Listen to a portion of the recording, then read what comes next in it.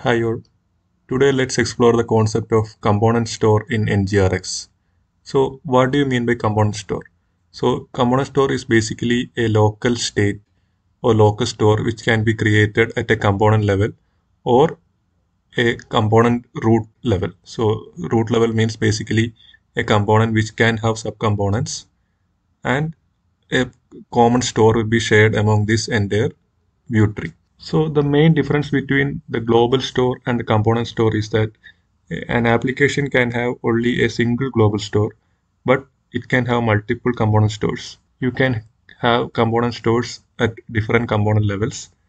And concept-wise, it is very much similar to the React state. The main difference is that the component store is more reactive in approach compared to the React state. Here I have created an Angular 12 application which consists of basically two components. One is the app component. If you go to the HTML, you can see that within the app component, there is a component called the app checkbox and it has an input named value and an output named value change. So if you go to the app checkbox,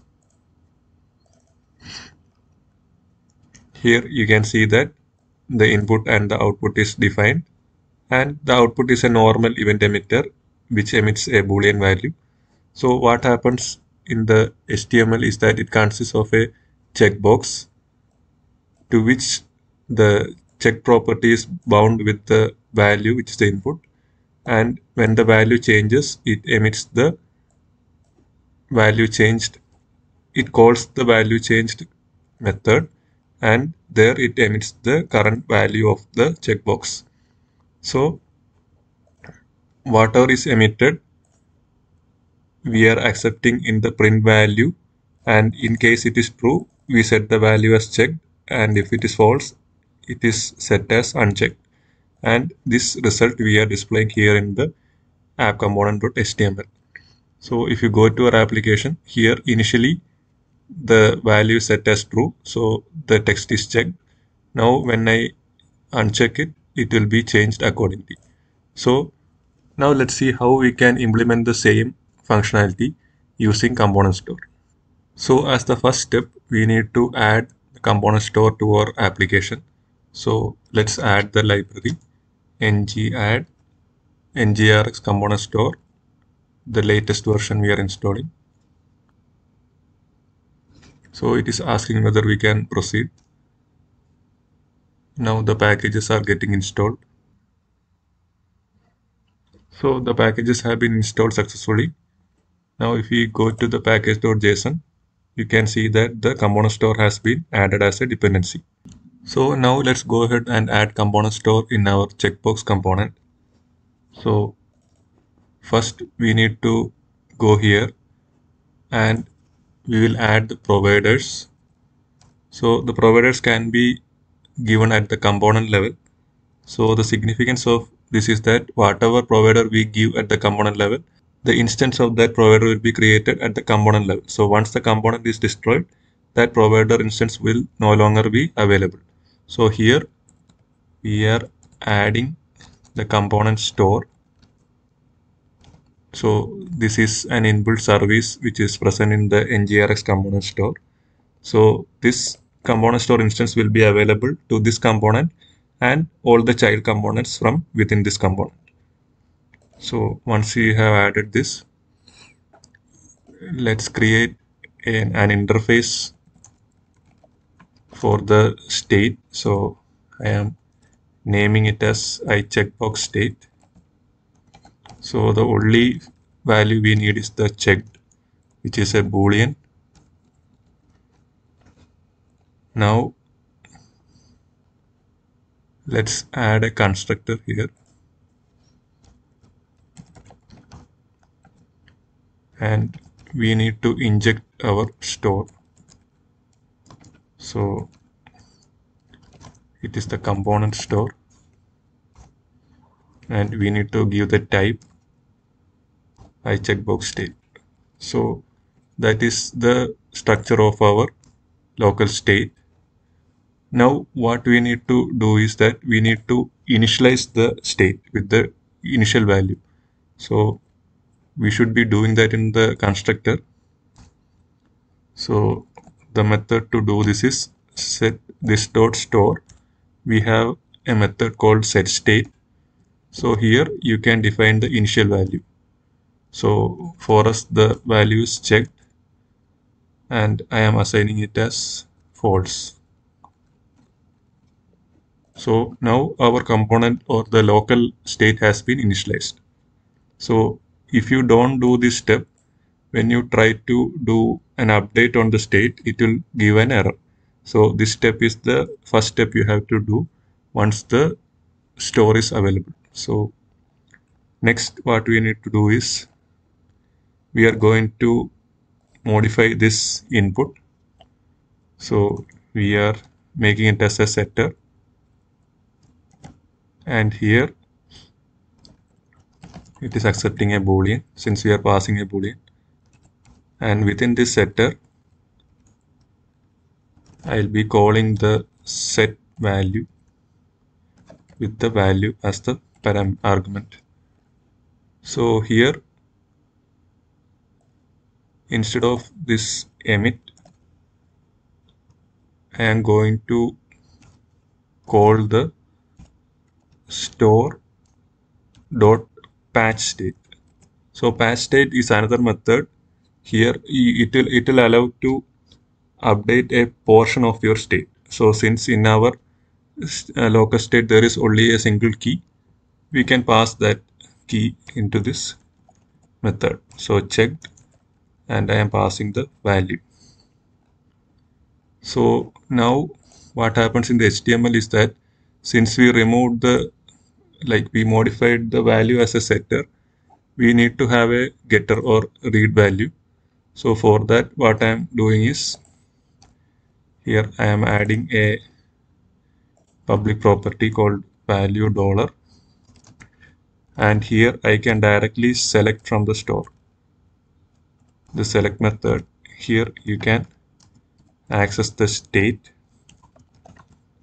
state dot checked so the checked field value will be directly bound to this observable and here we can use this observable here using the async pipe.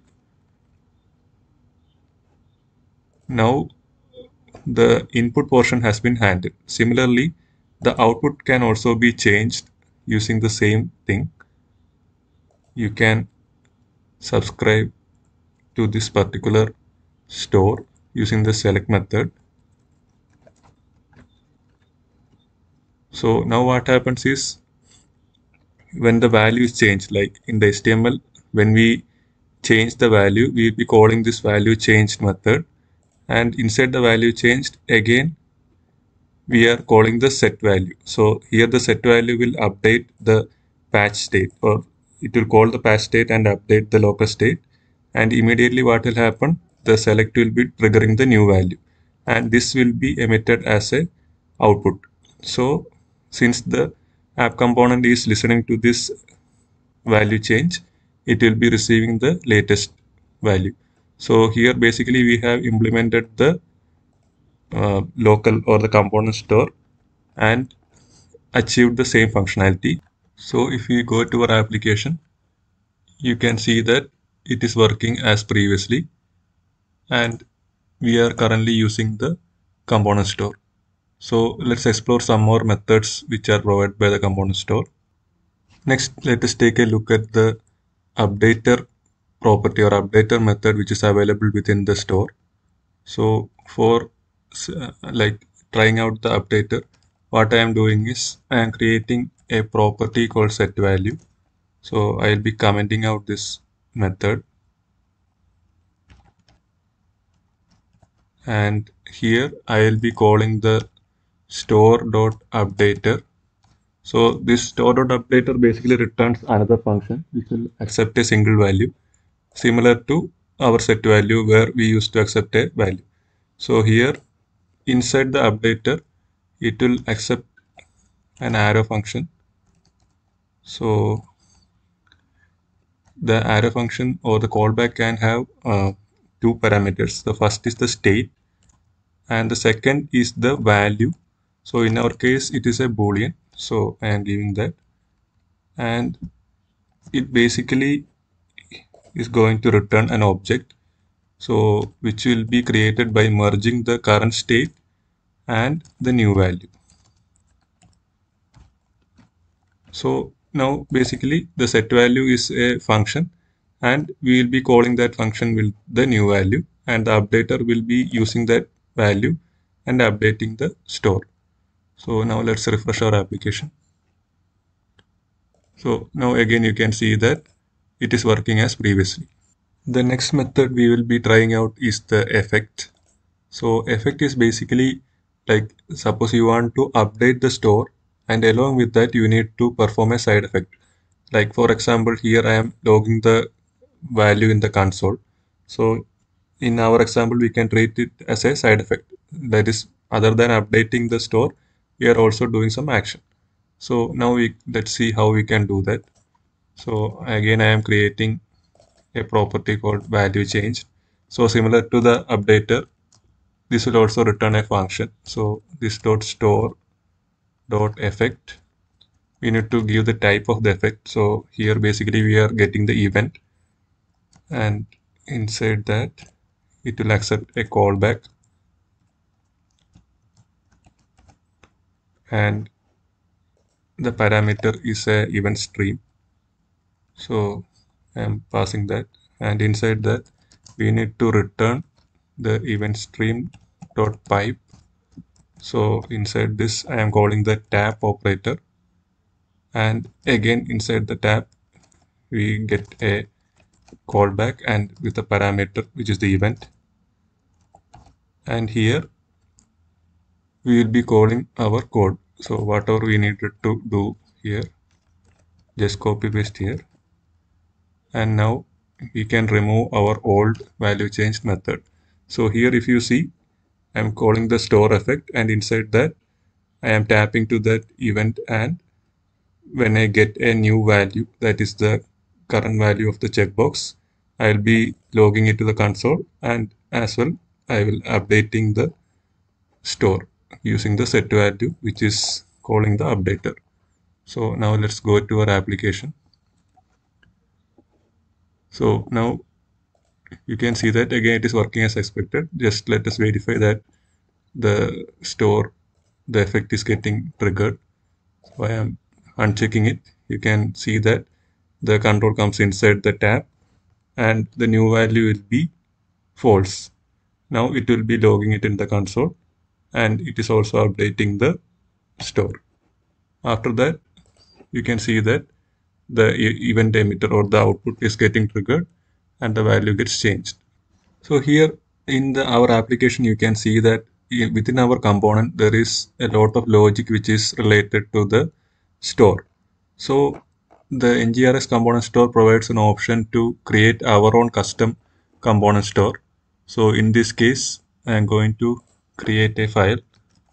I am calling it checkbox.store ts and here I'll be creating a class and naming it as checkbox store and I can extend the component store.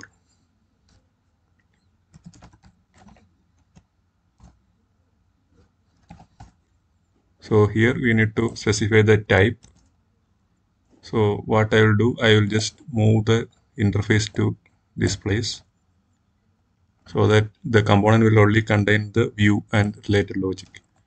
So I am moving it here and I am providing the type here and this is basically a service so we need to provide the at injectable and providing in as root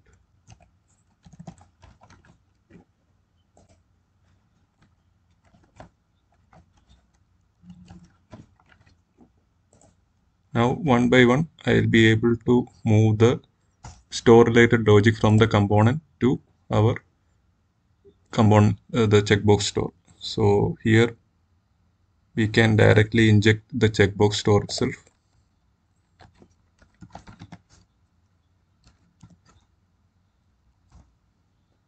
So here you can see that actually we are lazily setting the initial value. Instead of this, we can do that in our store itself. So since we are extending the, we can call the constructor and inside the super call, you can pass the initial value. So this is another way in which you can initialize the state. So after that, we no longer need this. Now we can move this value changed method to our store. So I am adding it as a read-only method, read-only property. And here we can directly access no need of the store. And I will move the tap and set value also we will be moving so here what we can do we can just attach the store dot value changed. So we can in effect use the whatever definition we have defined in the store. Similarly we can move the set value as well to here. So again I am adding the read-only property. And now we are ready. So here again we can directly access the set value.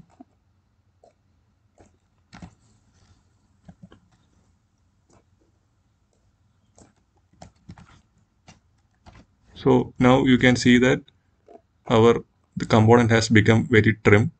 And here instead of the component store we need to move the checkbox store.